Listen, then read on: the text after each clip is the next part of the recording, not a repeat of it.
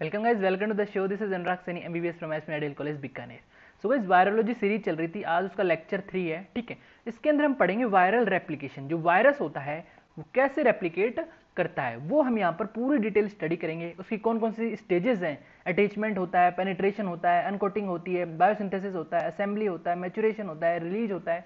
ये जो सारे स्टेजेस हैं, बहुत अच्छी तरीके से पढ़ेंगे. ईजी लैंग्वेज में यहाँ पर पढ़ने वाले हैं. तो गैस बहुत इंटरेस्टिंग वीडियो है. बिना स्किप करे पूरी वीडियो ज़रूर देखिएगा, ठीक है? सबसे पहले हम बात करें गाइज़ वायरल जो रेप्लीकेशन है, वो कैसे होता है, ठीक है? वायरस है, जैसे गाइज़ हमने बात किया, हम बात करते हैं बैक्टीरिया बैक्टीरिया की। तो बैक्टीरिया के अंदर जो डिवीज़न होता है बाइनरी फ्यूजन से होता है। किससे होता है? बाइनरी फ्यूजन से डिवीज़न होता है। लेकिन वायरस में ये जो सिस्टम है, ये एबजेंट होता है बाइनरी फ्यूजन तो वायरस में आखिर होता क्या है? बाइनरी फ्यूजन एक सिंपल तरीके का डिवीज़न है, जबकि जो वायरसेस होते हैं, एक सिंपल डिवीज़न से और नहीं करते।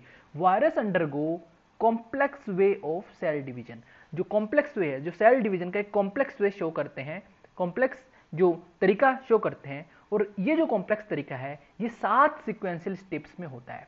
सेवन सिक्वेंशियल स्टेप्स में जो वायरल है वायरस जो है, वो रेप्लीकेट करता है अपने आप को। ठीक है? कौन कौन से स्टेजेस हैं? सिक्वेंशियल स्टेजेस हैं। सबसे पहले अटैचमेंट होएगा। अब मैं एक ओवरव्यू बता रहा हूँ। जैसे मान लो, ये हमारी सेल सर ये हमारी सेल मेम्ब्रेन है हो सेल मेम्ब्रेन है, ठीक?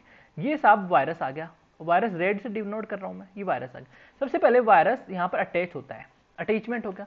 फिर वायरस यहाँ पर पेनिट्रेट होता है। पेनिट्रेट मतलब अंदर जाएगा। ठीक है पेनिट्रेट हो गया। ठीक है वायरस के अंदर ये कैप्सिड था तो ये अंदर न्यूक्लियर मटेरियल पाया गया। ठीक अब पेनिट्रेशन हो गया बाद अब फिर क्या होता है? अनकोटिंग अनकोटिंग मतलब अनकोटिंग मतलब जो भी भारी इनुलप है या फिर कैप्सिड है, वो टूटता है। वो टूटता है। तो ये इनुलप है, ये टूट गया। और इसके अंदर ये जो न्यूक्लियर मटेरियल था, ये बाहर आ गया। ये क्या है? न्यूक्लियर मटेरियल ये बाहर आ गया, ठीक है? इसे हम बोलते हैं अनकोटिंग अब ये न्यूक्लियर मटेरियल बाहर आ गया। अब बहुत सारे वायरस हैं, उनके सबके न्यूक्लियर मटेरियल बाहर आ जाएँगे। फिर होता है बायोसिंथेसिस फिर बायोसिंथेसिस मतलब बहुत सारे जो सिंथेसिस होता है, बहुत सारे कंपोनेंट्स का। कौन से कंपोनेंट्स का? जो वायरस को ज़रूरत होती है, उन कंपोनेंट्स की सिंथेसिस होता है।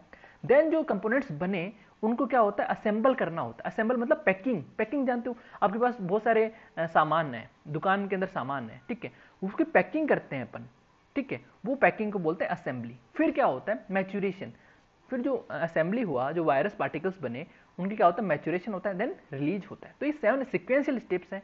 वो हम यहाँ पर डिटेल से स्टडी करेंगे। ठीक है? अटैचमेंट क्या होता है गाइज़ सपोज़ करो गाइज़ अटैचमेंट क्या होता है? ये आपकी होस्ट सेल मेम्ब्रेन है। This one is host cell membrane, host cell membrane, ठीक।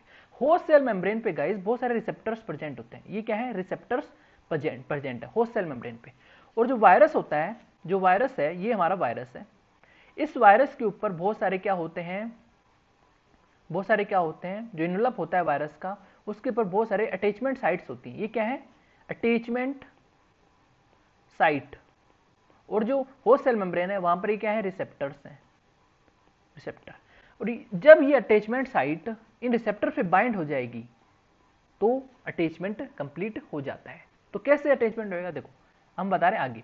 ये वायरस पार्टिकल है, ये क्या पर है, ये क्या है, ये क्या है?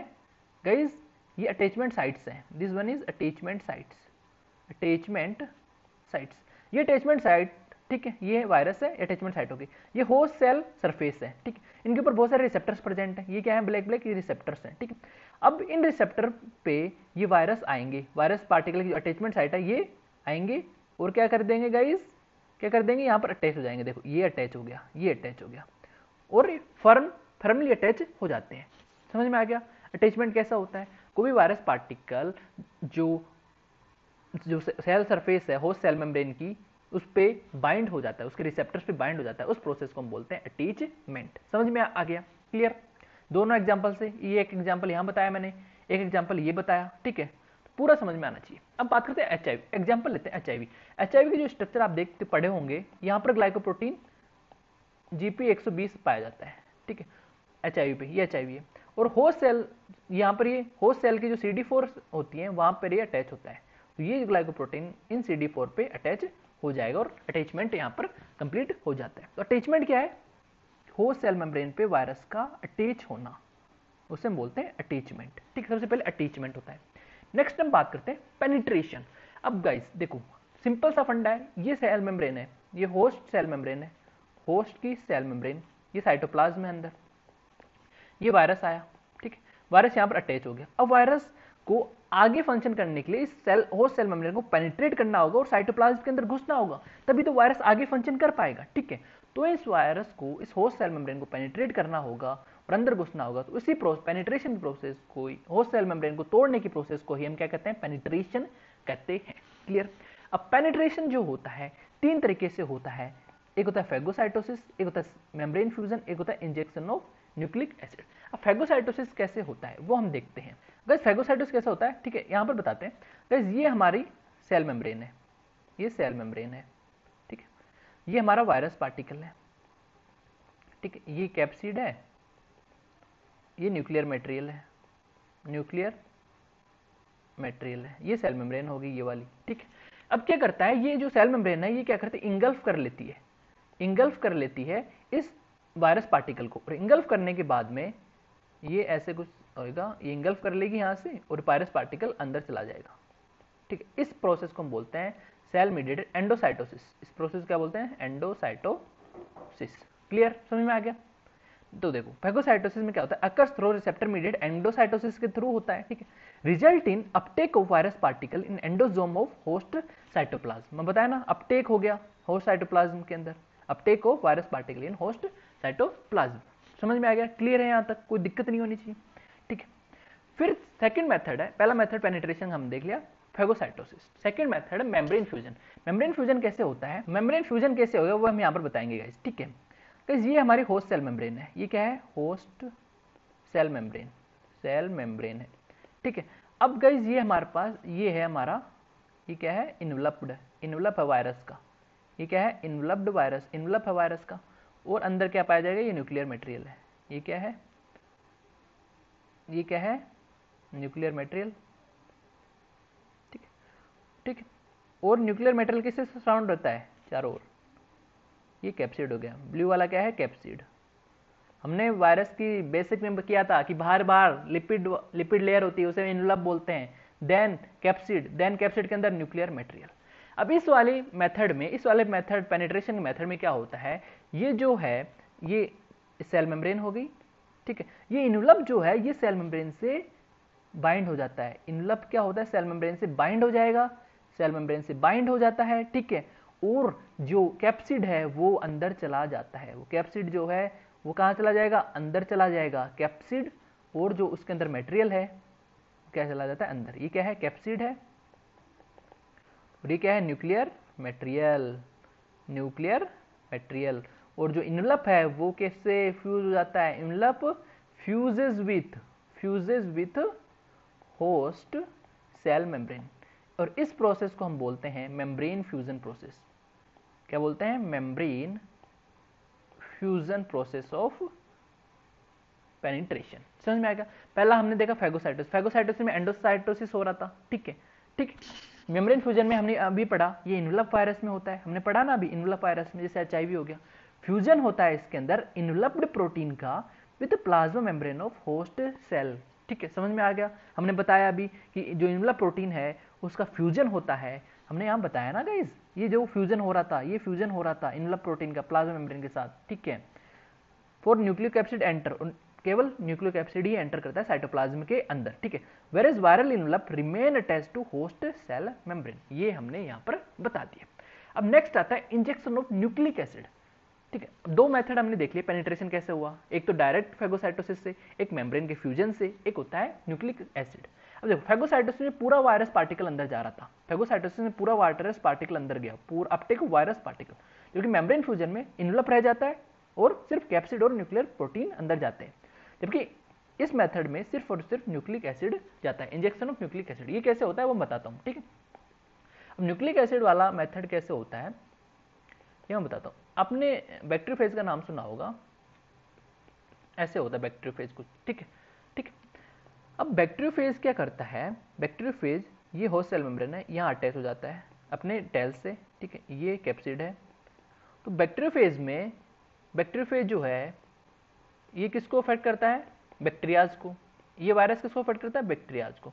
अब हमें पता है बैक्टीरिया के अंदर रिजिड सेल वॉल होती है। क्या होती है?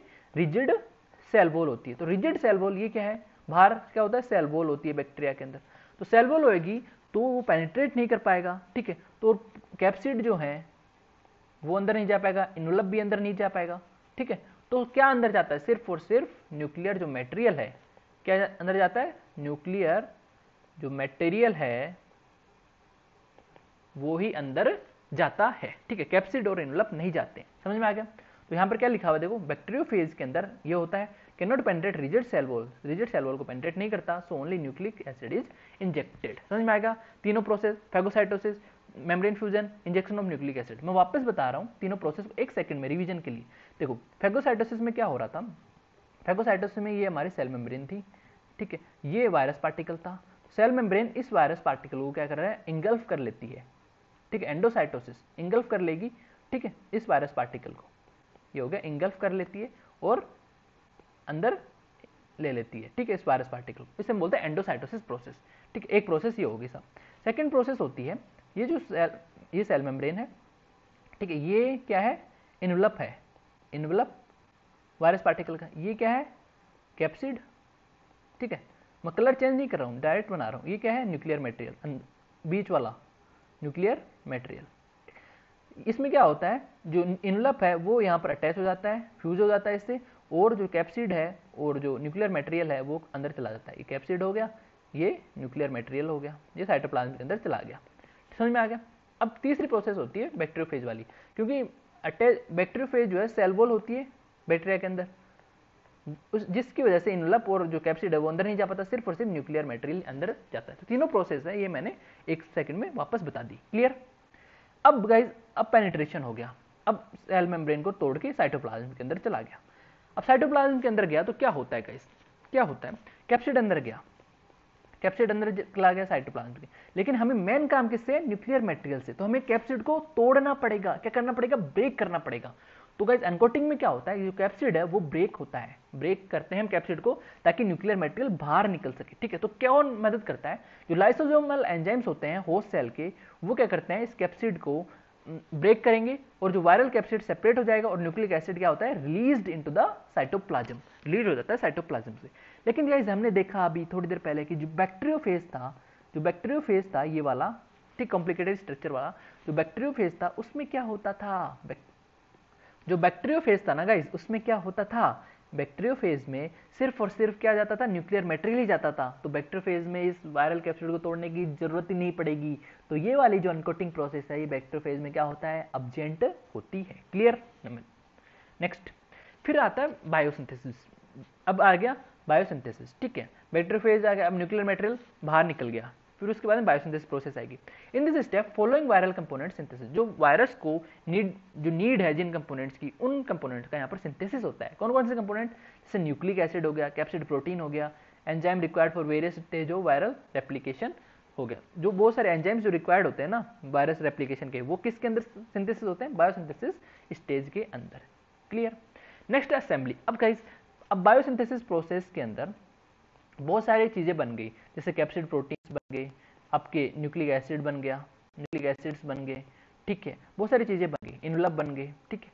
अब इनको असेंबल भी तो करना है, इनको असेंबल करेंगे हम, एक तरह इन सबको असेंबल करेंगे, तभी तो वायरस पार्टिकल बन पाएँगे, ठीक है। बहुत सारे आपके पास चीज़ें जैसे आपको कोई भी आपको चाय बनानी है, ठीक है? चाय बनानी है तो आपके पास चीनी भी है, आपके पास चाय भी है, चाय पत्ती भी है तो आप इन सबको असेंबल करना पड़ेगा, तभी तो चाय बनेगी। उसी तरह बहुत सारे चीज़ें बनती हैं, जैसे न्यूक्लिक एसिड बनता है इनलप प्रोटीन्स बनते हैं कैप्सिड प्रोटीन्स बनते हैं तो इन चीज़ों को असेंबल करेंगे, तभी तो वायरस पार्टिकल नया वायरस पार्टिकल बनेगा।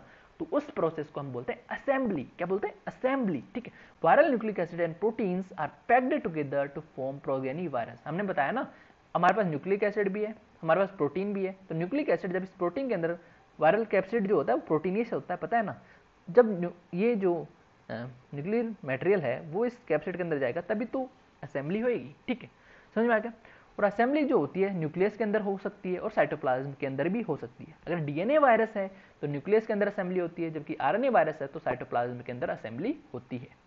नेक्स्ट फिर होता है मैच्योरेशन असेंबली के बाद में मैच्योरेशन करना होता है, ठीक है? मैच्योरेशन क्या होता है? होस्ट सेल न्यूक्लियस के अंदर भी हो सकता है साइटोप्लाज्म के हो सकता है और मेम्ब्रेन जो होस्ट सेल मेम्ब्रेन्स हैं, वहाँ पे भी मैच्योरेशन हो सकता है क्लियर लास्ट स्टेज आती है रिलीज़ रिलीज़ एक बहुत इंपॉर्टेंट है। हमारे पास बहुत सारे, ये सेल मेम्ब्रेन थी, ये साइटोप्लाज्म था। अब साइटोप्लाज्म के अंदर जो होस्ट सेल साइटोप्लाज्म है, बहुत सारे वायरस पार्टिकल्स बन गए साहब ये वायरस पार्टिकल बन गए। अब इनको रिलीज़ भी तो करना रहेगा। इनको रिलीज़ करेंगे, तभी तो आगे बैक्टीरियल जो साइकिल है वो सॉरी वायरल साइकिल है वो चल पाएगी, ठीक है? तो release of daughter viral daughter किसको कहा है? जो नए वाले बने हैं, आयदर। और ये किस किस प्रोसेस से होता है? एक तो देखो डायरेक्ट लाइसिस से हो जाए, ये सेल मेम्ब्रेन है, ये वायरस पार्टिकल एक डायरेक्ट सेल मेम्ब्रेन को तोड़ के बाहर चले जाए, उस प्रोसेस को बोलते हैं लाइसिस उसको बोलते हैं लाइसिस और लाइसिस कौन कौन से बैक्टीरिया करते हैं? लाइसिस आपके करेंगे? नॉन इनलब्ड वायरसेस और बैक्टीरियोफेज ये प्रोसेस करते हैं लाइसिस वाले। एक होता है गाइस एक होता है, ये हमारी सेल मेम्ब्रेन है, ये हमारा बैक्टीरिया है, ये सॉरी वायरस है। एक होता है बडिंग प्रोसेस बडिंग मतलब बडिंग क्या होता है, देखो, ये ऐसे है, ये बडिंग निकलेगी बडिंग निकलेगी, ऐसे ऐसे ऐसे, ठीक है। बडिंग से बाहर जाएँगे, ये वायरल पार्टिकल है बडिंग के थ्रू बाहर जाएँगे। और बडिंग जो कौन करेगा इनलब्ड वायरल करें। During budding they acquire a part of host cell membrane ये जो वायरल पार्टिकल है, ये कैप्सिड जो है, ये क्या करेंगे गाइज़ ये होस्ट सेल मेम्ब्रेन को होस्ट सेल मेम्ब्रेन को क्या करेंगे? कवर कर लेंगे थोड़ी सी। बडिंग के थ्रू ये बडिंग होएगी तो ये वायरस पार्टिकल देखो, ये बडिंग हो रही है, ये वाली बडिंग हो रही है। तो ये वायरस पार्टिकल के थोड़ी थोड़ी ये सेल मेम्ब्रेन अटैच हो जाएगी, और जो सेल मेम्ब्रेन अटैच होती है, उसे हम बोलते हैं इनुलप। उसके अंदर बोलते हैं हम इनुलप उसे क्या बोलेंगे? इनुलप बोलेंगे। During budding virus particle acquire a part of host cell membrane to form lipid part of their envelope ठीक है? तो इनुलप कहाँ से आता है? होस्ट सेल मेम्ब्रेन से आता है। ड्यूरिंग बडिंग बडिंग से जाते हैं ना बाहर तो थोड़ा सा पार्ट सेल मेम्ब्रेन का इस वायरस पार्टिकल के अटैच हो जाता है, चिपक जाता है, उसे हम बोलते हैं इनुलप ठीक है? यहाँ पर मैंने एक चीज़ गलत बता दी थी गाइज़ कि जो सिंथेसिस होता है ना असेंबली के अंदर इनुलप का सिंथेसिस नहीं होता। ये मैंने थोड़ा गलत बता दिया तो ये वापस ध्यान में रखना। असेंबली के अंदर इनुलप पार्टिकल का सिंथेसिस नहीं होता। असेंबली के अंदर आपकी कैप्सिड बनेगा, आपका न्यूक्लियर मटेरियल्स बनेगा, ये सारी चीज़ें बनेंगी, जबकि इनुलप जो होता है, वो कहाँ पर कहाँ पर आता है? इनुलप जो, कहाँ से प्रोड्यूस होता है? जब बडिंग होती है होसेल मेम्ब्रेन की, तब होसेल मेम्ब्रेन का कुछ पार्ट चिपक जाता है, और उसे हम बोलते हैं इनुलप। समझ में आ गया? तो ये सारी चीज़ें हुई, ठीक है? वीडियो अच्छा लगा हो तो लाइक ज़रूर करना है सब्सक्राइब ज़रूर करना चैनल को और शेयर ज़रूर करना, क्योंकि बहुत मेहनत लगती है वीडियोस बनाने में, ठीक है? अगर आपको नोट्स चाहिए साफ़ सुथरी राइटिंग में तो ज्वाइन कर सकते हैं हमारे टेलीग्राम चैनल को, और कोई भी डाउट हो क्वेरीज हैं तो आप इंस्टाग्राम पर फॉलो करके पूछ सकते हैं, और कमेंट सेक्शन में बेझिझक पूछ सकते हैं, सबको रिप्लाई मिलेगा, ठीक है? Thank you guys stay safe stay healthy